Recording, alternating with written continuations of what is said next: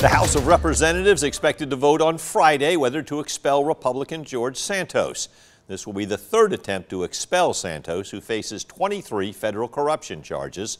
The House Ethics Committee claims Santos broke campaign finance laws by spending campaign money on Botox, shopping, and personal travel.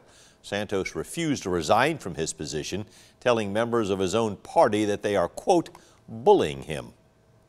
I'm fighting to defend myself and to dispel each and every accusation. This is very expansive. This is fraud. He refused to cooperate with the committee, which is our self policing thing.